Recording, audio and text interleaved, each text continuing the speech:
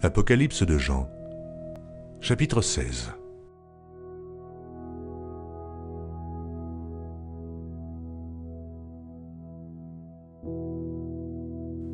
Et j'entendis une voix forte qui venait du temple et qui disait aux sept anges, Allez et versez sur la terre les sept coupes de la colère de Dieu.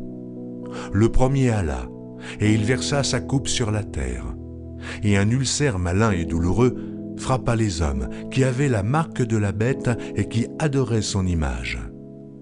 Le second versa sa coupe dans la mer, et elle devint du sang, comme celui d'un mort, et tout être vivant mourut, tout ce qui était dans la mer. Le troisième versa sa coupe dans les fleuves et dans les sources d'eau, et ils devinrent du sang.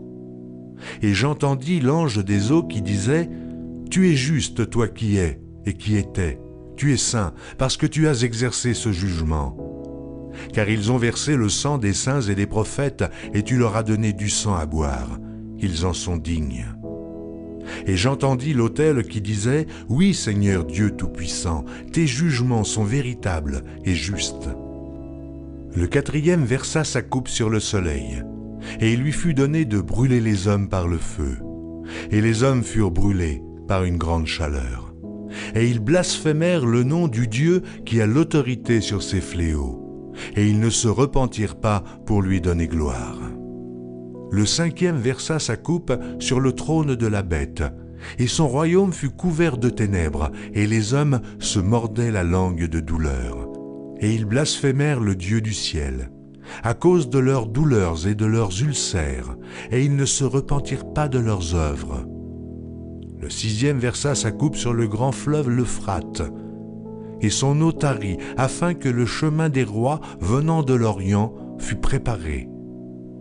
Et je vis sortir de la bouche du dragon et de la bouche de la bête et de la bouche du faux prophète trois esprits impurs, semblables à des grenouilles.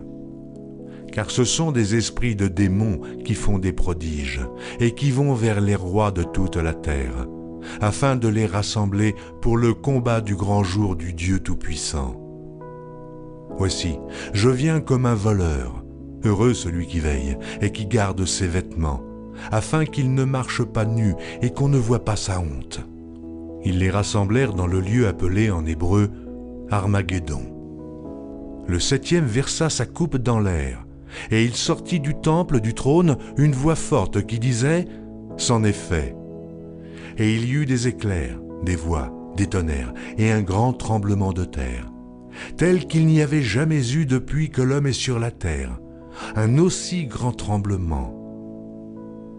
Et la grande ville fut divisée en trois parties, et les villes des nations tombèrent, et Dieu se souvint de Babylone la grande, pour lui donner la coupe du vin de son ardente colère.